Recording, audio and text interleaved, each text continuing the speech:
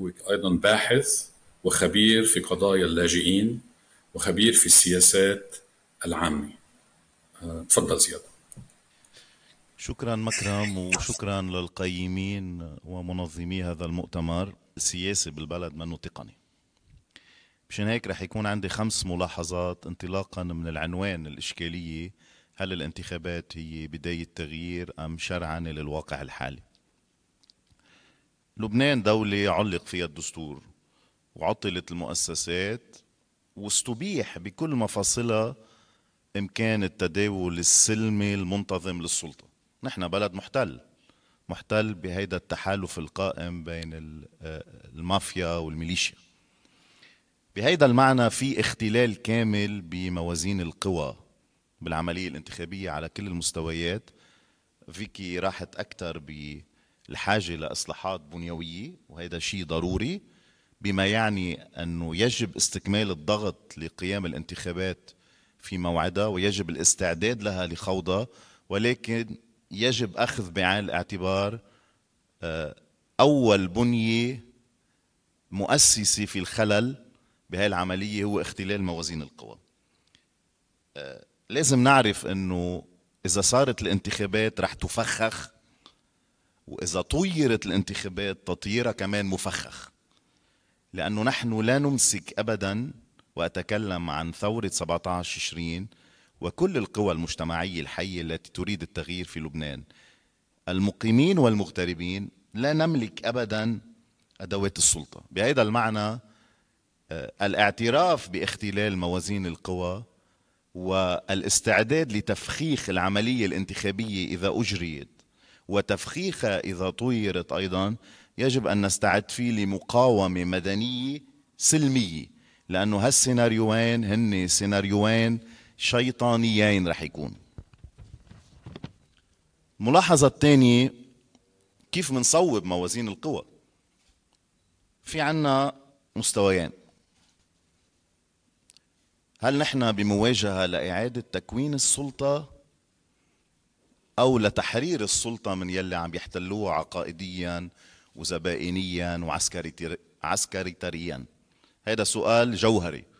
بعتقد نحن بمواجهة مع السلطة مش لإعادة تكوين السلطة لتحرير السلطة من محتلينا.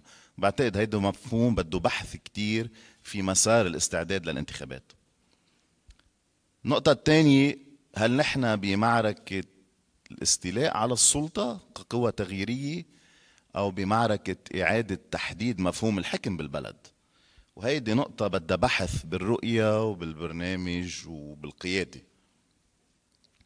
لأنه عمليا تم قطع الصلة بالكامل بين مفهوم الشأن العام ومفهوم الخير العام ومفهوم الخدمة العامة. أم المعارك بوجه المنظومة أولا هو تصويب هالمفهومين. نحن بمواجهة لتحرير السلطة من محتلينا ونحن بمواجهة لإعادة تحديد مفهوم الحكم مش للاستيلاء على السلطة فقط. وبعتقد هيدي قضية شديدة التعقيد يجب أن تقرأ بلحظتها التاريخية بما يعني التغيير المتوسط والبعيد المدى وليس فقط في لحظتها الراهنة التي هي لحظة الانتخابات فيها محطة ونتيجة وليست هدف. الملاحظة الثالثة إذا اعترفنا باختلال موازين القوى وحاولنا نصوب هالموازين بعتقد من المفيد إنه نضع بسلم أولوياتنا تفكيك عقد أساسية بالعملية الانتخابية بتتعلق بالرأي العام الناخب. المشكلة مش مع المنظومة بالأول المشكلة مع القواعد الزبائنية والاستسلامية للمنظومة لأنه من صنع هذه المنظومة هي القواعد. هل نستطيع تفكيك المسار التبعي الزبائن الاستسلامي للمنظومة؟ وهيدا سؤال مهم كتير يلي بده بحث كيف تخلق ذهنية جديدة بالعملية الانتخابية بقدر ما مهم إجراء إصلاحات بنيوية بالقانون وبإدارة العملية الانتخابية. بقدر ما يجب أن نعي أنه المعركة الأساسية كمان هو معركة مع الرأي العام الناخب. وفي كتلة رمادية بالبلد يائسة عدا الكتلة الزبائنية المستزلمة. هالكتلة اليائسة كيف بتستقطبها حتى تقول في مشروع بديل بالبلد؟ في قدرة على بديل حكم جدي بالبلد؟ يعيد لبنان إلى فرادة رسالته بما يعني المواطن الحاضن للتنوع بما يعني الحكم الرشيد واستعادة آه، ميزات لبنان تفاضلية أولا على المستوى الوطني ومن ثم على المستوى الإقليمي وعلى المستوى الدولي مع إعادة لبنان إلى الشرعية العربية والشرعية الدولية. بهذا المعنى بعتقد أنه آه، آه، ضرب المسار الميركانتيلي الاستزلامي للقواعد الانتخابية للمنظومة أساسي. ويمكن أن أعطي مثل بسيط عم بيصير هلأ هو البطاقة التموينية. البطاقة التموينية التي أقرت من دون اعتمادات والتي يمكن أن يأتي إلى لبنان اعتمادات لها والنقاش قائم مع المؤسسات الدولية مع أيضا إعلان صندوق النقد الدولي أنه يمكن أن آه، آه، يجير لبنان 900 مليون دولار من ضمن المساعدات العامة اللي عم بقرها الصندوق لكل الدول بعد جائحة كورونا. السؤال المطروح بيبقى إنه كيف ستستعمل هذه الأموال وما قدرة الرقابة عليها؟ آه، مش رح أقول في خوف بس بقول يجب أن نتوجه إلى الرأي العام الناخب بأنه نحن لسنا وطنا فقيرا نحن وطن أفقر ولا يمكن آه، أن نعتاش من الإعاشات التي تقدم لنا. بهذا المعنى ضرب القاعدة الزبائنية هي أساسية لإنجاز تصحيح موازين القوى في العملية الانتخابية. الملاحظة الرابعة هي أي رقابة على الانتخابات. في عنا رقابة محلية بده يقوم فيها الرأي العام، الإعلام له دور أساسي، هيئات المجتمع الدولي المدني إلى دور أساسي محليا وفي عنا رقابة إقليمية ودولية ولكن كمان الرقابة الإقليمية والدولية ما بدها تكون رقابة فولكلورية. يعني بعتنا وفد صرفنا عليه أموال بس حتى يبرم يعمل عمليات زيارات للمواقع الميدانية للانتخابات. بده يكون في رقابة سابقة للعملية الانتخابية. وبعتقد هون في دور أساسي لمجموعة الدعم الدولية الخاصة بلبنان. حتى نخرج من منطق آه، العمل المتفرد للاتحاد الأوروبي ولا لجامعه الدول العربية ولا الأمم المتحدة. في مجموعة دعم دولية خاصة للبنان أنشأ مجلس الأمن. مجموعة الدعم الدولية الخاصة للبنان إذا بدها تروح بعملية جدية بالرقابة على الانتخابات يجب أن تكون رقابة سابقة رقابة خلال الانتخابات ورقابة لاحقة.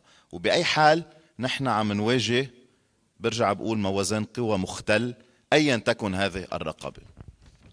الملاحظه الخامسة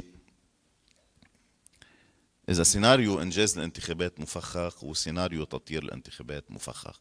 ونحن شهدنا سيناريو تطيير الانتخابات على ثلاث دورات سابقة. وكنا بوضع يعتبر business as usual نحن هلأ بوضع عمليا قد تكون المنظومة بقواعدها الزبائنية مرتاحة ولكن أيضا هي آه، عندها تساؤلات بهذه العملية الانتخابية لأنه في جو بالبلد ناقم عليها. ما بدنا ننسى ابدا نحن ما عم نواجه منظومة تقليدية ما عم نواجه عملية تغيير ديمقراطي بلد محتل في منظومة تملك السلاح وعندما أقول تملك السلاح يعني هي تجير كل تحالفاتها تحت وطأة هذا السلاح مع عقائدية. مشان هيك في كتلة أيضا بالبلد إمكانية اختراقها ولو كان بالنسب المئوية تصويتا آه، قد تحدث تغيير ولكن لا يمكن اختراقها بالمعنى التمثيل. أختم وأقول بعتقد بقدر ما نحن بمعركة آه، تحرير السلطة مش إعادة تكوين السلطة فقط. نحتاج في الاستعداد للعملية الانتخابية أولا أن نعيد إنتاج مفهوم القضية اللبنانية. نحن مش بأزمة في لبنان. هناك قضية لبنانية آه، نحن معنيون بإعادة إنتاجها واللقاء اللي صار من ثلاثة أيام بالفاتيكان أعاد تصويب البوصلة. نحن أمام قضية لبنانية يجب أن نخوض معركتها في الداخل وفي الخارج بشكل متوازي. والنقطة الثانية على المدى المتوسط والبعيد بعتقد نحن مش أمام تحدي فقط إعادة إنتاج السلطة وإعادة تكوينها ولكن أيضا أمام تحدي إعادة إنتاج الشخصية اللبنانية على قاعدة المعايير الأخلاقية